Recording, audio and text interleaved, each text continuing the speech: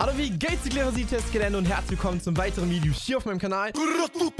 Heute kommt ein sehr geiles Video, was ich schon tatsächlich lange geplant habe und ich weiß, Leute, ich weiß, Chris hat heute 1 zu 1 gleiches Video hochgeladen, aber ich könnte Chris jetzt richtig in die Pfanne hauen, denn Donnerstag, 26. November, Sprachmemo von Fieser Dinkel. Was geht ab?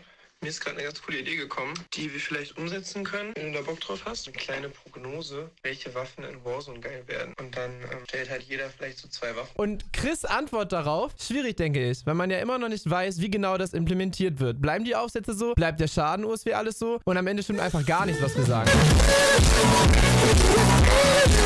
Aber, aber keine Sorge, Leute, keine Sorge, kein Stress oder so. Chris hat mir vorher schon geschrieben, dass das Video hochladen wird und so weiter. Ich habe auch gesagt, ist alles kein Thema. Sein Chat hat es ihm nämlich auch schon vorgeschlagen und er hat mir ja auch einen Shoutout gegeben am Anfang von seinem Video. Nur, dass ihr wisst, warum ich das Video jetzt auch noch hochlade. Und da ich das neben dem Studium nicht geschafft habe, noch schnell das Video hochzuladen und ansonsten die letzte Nacht komplett hätte durchmachen müssen, heute wieder nicht lernen können und so weiter und so fort. Ich hoffe, Ihr verzeiht mir. Wenn ihr euch allgemein für Call of Duty mega interessiert und nichts mehr rund um Waffen, Tipps, Tricks, Klassenvideos und so weiter, Updates, alles nichts mehr verpassen wollt, lasst unbedingt ein kostenloses Abo da. Dann bekommt ihr nämlich immer in eurem Abo-Feed angezeigt, wenn ein neues Video von mir hochgeladen wird und müsst euch nicht darauf verlassen, dass der YouTube-Algorithmus euch die Videos vorschlägt, weil das ist immer ein bisschen random. Wenn der keinen Bock hat, dann kommt mein Video einfach gar nicht zu euch durch, obwohl euch das Video vielleicht interessieren würde. Und ich würde mich mega über eine positive Wertung freuen. Jetzt gehen wir aber rein und analysieren mal ein bisschen, was am 16.12. vom Zusammenschluss Call of Duty Black Ops Cold War und Call of Duty Modern Warfare Warzone was für Waffen die Meta werden können. Ich weiß, es ist ein sehr, sehr, sehr, sehr, sehr, sehr subjektives Video. Und eine sehr, sehr subjektive Meinung, weil das Update ja erst noch kommt. Ja, also im Moment haben wir ja bisher nur die Waffen im Multiplayer und die Waffen halt in Warzone. Also man weiß noch überhaupt nicht, wie das Ganze angepasst wird. Ich werde gleich ein, zwei Waffen erwähnen, die halt in Cold War absolut strong sind, aber man jetzt nicht unbedingt weiß, ob die Waffen genauso stark auch in Warzone werden. Bo, bo, bo, bo. Die Waffen, die ich aber euch vorstellen werde, werden Waffen sein, die ich auch als allererstes in dem Game zocken werde. Am 16.12., sobald die Cold War Waffen halt auch verfügbar sein werden. Fangen wir mit meiner... Lö. Fangen wir mit meiner Lieblingswaffe an, die ich auch am an als allererste Waffe die ich als allererste Waffe in Cold War auch auf Gold hatte. Und zwar meine geliebte M16.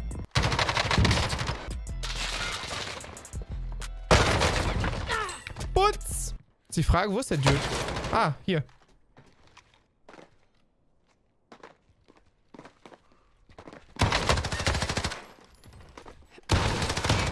Nein, ich bin Arsch.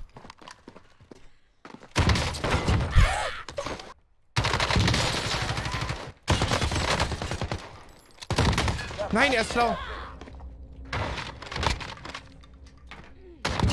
Bo, bo, bo, bo. Die M16 ist eine Burst-Waffe, die seht ihr gerade im Hintergrund. Und ich weiß auch nicht, was sie mit dieser Waffe gemacht haben, ob das Absicht ist, aber die Taktik wäre vor allem das zweite, was ich euch gleich auch noch vorstelle, sind wirklich absolut strong. Die sind wirklich unfassbar gut in Cold War. Also keiner weiß auch so wirklich, was sie damit bezwecken wollten, aber das sind, die haben eine Reichweite, die droppen dich so dermaßen schnell. Die Time to Kill von den Waffen ist auch wirklich richtig krank. Ich habe ja auch schon äh, zu der M16 auch ein Video hochgeladen und das ist wirklich keine Ahnung, das ist komplett krank. Ups. Ey, ey, ey. Ich weiß nicht, wie es euch geht, aber ich persönlich fände eine Meta mit Burst-Waffen richtig nice. Natürlich nicht so richtig eklig overpowered, aber ich fände es schon nice, wenn die... Aber ich fände es schon nice, wenn die mal so was Neues reinbringen, weil die Farmers kann man ja jetzt nicht wirklich gebrauchen. Ich weiß nicht ganz, wie man das, wie man das bewerkstelligen könnte, dass die halt nicht komplett overpowered ist, weil in Cold War ist natürlich so, dass wenn du einen Burst in den Körper, egal wohin, vom Gegner setzt, er wird direkt umfallen. Also wenn du jede Kugel triffst mit dem einen Burst, dann wird er sofort sterben. Das kannst du natürlich in Warzone nicht machen. Kannst du nicht einer, der drei Plates drin hat, volles Leben hat, mit einem Burst äh, auseinandernehmen. Das wäre ja, das wäre das würde ja auch keinen Spaß machen, damit zu spielen. Aber zwei Bursts zum Beispiel in den Oberkörper. Ich glaube, das würde richtig Spaß machen, damit zu spielen. So in Cold War gab es ja acht Aufsätze pro Waffe, beziehungsweise acht große Aufsätze, die dann noch Unterkategorien hatte. Und genau diese Aufsätze wird man auf jeden Fall auch in Warzone benutzen können. Deswegen glaube ich schon, dass sich die Waffen irgendwo ähnlich anfühlen werden. Aber dadurch, dass die Engine ja auf Warzone aufgebaut wird, also Warzone wird sich noch gleich anfühlen, nur die Leute, die halt vorher Cold War Multiplayer gespielt haben, werden sich in gewisser Weise neu orientieren müssen. Ich habe das auch selber total gemerkt. Als ich eine Zeit lang nur Cold War Maus und Keyboard gespielt habe, hatte ich total Probleme mit Modern Warfare, also in Warzone wieder reinzukommen. Trotz alledem werden alle Aufsätze, die man in Cold War benutzt hat, auch in Warzone auf den Waffen verfügbar sein. Das haben diese Leaks hier ergeben.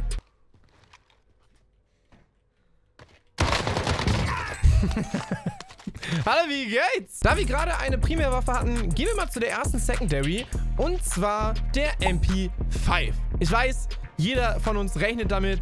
Die meisten ist das jetzt nicht Neues oder so. Aber die MP5 ist in Cold War einfach eine Maschinenwaffe gewesen. Die wurde ja auch einer, als einer der ersten Waffen gepatcht, weil es halt wirklich, weil sie wirklich viel zu strong war. Jeder hat nur noch die MP5 gespielt. Und die meisten haben sich schon im Zuge darauf, dass sie so stark ist, darauf eingestellt, dass sie auch in Warzone, wenn die Cold War Waffen dann übernommen werden, höchstwahrscheinlich absolut stark werden wird. Und auch wenn sie jetzt ein bisschen schlechter gemacht wurde, gehe ich irgendwie davon aus, dass sie, ja, jetzt vielleicht nicht Meta, aber ich meine, in Warzone ist sie ja jetzt auch nicht wirklich Meta. Die R9 ist ja immer noch ein Stück weit besser als die MP5. Aber ich glaube schon, dass sie wirklich stark werden wird. Deswegen, ich habe gerade schon die M16 genannt, wird mein allererstes Loadout die M16 als Primär und die MP5 als Secondary sein. Meine zweite Primärwaffe, die ich auf jeden Fall im Auge behalten würde an eurer Stelle, ist die zweite Burstwaffe und zwar die AUG. Schon bis, ich habe am Anfang schon ein bisschen durchklingen lassen, dass die Burstwaffen allgemein oder die Taktikgewehre sehr, sehr stark sind allgemein. Hier ist doch einer drin, oder? Wer ist oben? Er ist hier, er ist, er, was? Wo, ich hab mich sehr spannend. Bring dich heim. Excusez-moi. Die Auge ist halt auch eine wirklich extrem starke Waffe in Cold War. Ich würde schon sagen, auch eine der Meta-Waffen im Multiplayer. Die Auge ist etwas langsamer als die M16 vom Handling her oder vom, vom ja, wie nennt man das? Allgemein ist die, das Movement mit der Auge ein bisschen langsamer.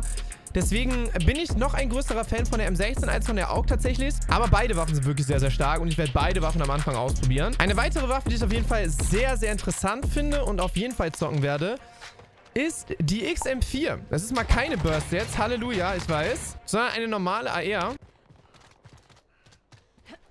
Playchat. Ups.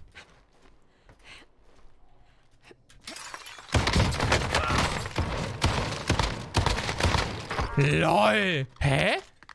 Haben die geteamt? Spielst du es? Die XM4 ist so eine... Die XM4 ist vom Gefühl her so eine Allrounder-Waffe, wisst ihr? Die kann halt... Die kann stark werden, die kann aber auch so jetzt nicht geisteskrank overpowered werden. Ich weiß es nicht. Also es ist so ein bisschen... Es ist eine sehr, sehr gute Einstiegswaffe. Da kommt einer. Oh mein Gott! Ey, ey, ey, ey, ey, ey! Oh, ich habe Eis daneben geschossen. Und ich habe ja auch schon ein komplett ausführliches Video zu der XM4 gemacht. Findet ihr in der Videobeschreibung, wenn ihr da Bock habt. Also wenn ihr euch allgemein auch für den Multiplayer interessiert. Und es ist ein sehr ausführliches Klassenvideo, wo ich auch alles analysiere, Time to Kill und so weiter. Alles auf den Multiplayer bezogen. Denn die gesamte Time to Kill, das muss ja für die neue Engine alles neu ausgerechnet werden und neu berechnet werden und neu festgelegt werden. Und ich bin richtig gespannt, wie die das umsetzen. Aber die XM4 ist halt eine ganz normale, glaube ich, casual gute Waffe. Ich glaube jetzt nicht, dass die OP wird. Wie gesagt, also nicht eine absolute Meta-Waffe. Aber es kann wirklich gut sein, dass, dass, ihr die, dass ihr die im Auge behalten solltet. Kommen wir zur wunderbaren Shotgun. ja, Leute, ich muss euch leider auch eine Empfehlung ausgeben. Es ist meine Pflicht, als Call of Duty News YouTuber oder was weiß ich auch immer für ein YouTuber ich bin, ist es meine Pflicht, euch auch für solche Waffen oder euch solche Waffen zu empfehlen. Und zwar ist es die Power. Die Power ist im Multiplayer extrem stark. Egal auf welcher Range, solange eine Kugel connected, macht sie Two-Shot. Also es könnte sein, dass ein Gegner auf 40 Meter Entfernung steht. Solange die Kugel ankommt und den Gegner berührt, verliert ihr die Hälfte seines Lebens. Stell dir mal vor, das ist im, im, in Warzone so. Ihr gibt so ein, ihr, ihr schießt einmal und egal wie weit der Gegner weg ist, er verliert die Hälfte des Lebens. Ich glaube nicht, dass die so krass OP sein wird. Aber wenn ich euch eine Shotgun empfehlen müsste, dann wäre das auf jeden Fall die Hauer. Aber es wäre natürlich ganz geil, wenn die R9 mal abgelöst werden würde. Boah. Das war aber knapp. Letzte Waffe, die ich euch vorstelle, ihr denkt es euch wahrscheinlich schon. Es ist eine der schlechtesten ARs in Warzone, aber mit einer der besten in Cold War und zwar die AK-47. Und ich bin wirklich gespannt, ob die die AK-47 in MW dann auch ein bisschen besser machen werden, weil also die, das sind wirklich Unterschiede, das könnt ihr euch nicht vorstellen. Die AK-47 ist in Warzone eine wirkliche Arschwaffe, wie ich gerade schon gesagt habe. In Cold War wirklich insane gut. Und da kann ich euch nur empfehlen, dass ihr die Waffe auch ganz oben mit auf eure Liste packt. Im Endeffekt wäre meine Liste jetzt auf jeden Fall M16 mit Overkill MP5 oder Shotgun, also der Hauer. Oder die AK-47 mit MP5 oder mit der Shotgun. Da müsst ihr ein bisschen schauen, was für euch besser ist. Ob ihr euch für eine Burst-Waffe sehr interessiert oder ob ihr am liebsten erstmal mit einer normalen Assault Rifle anfangt, wie mit der AK-47 oder der XM4. Wenn ihr noch weitere Vorschläge habt, was in Cold War so richtig strong werden könnte, schreibt es gerne in die Kommentare. Ich bin sehr auf eine Diskussion gespannt. Lasst eine positive Wertung da, wenn euch die Idee dir gefallen hat. Und wir sehen uns beim nächsten Video. Lasst gerne ein kostenloses Abo da. Wie gesagt, würde ich mich darüber freuen. Macht's gut. Ciao.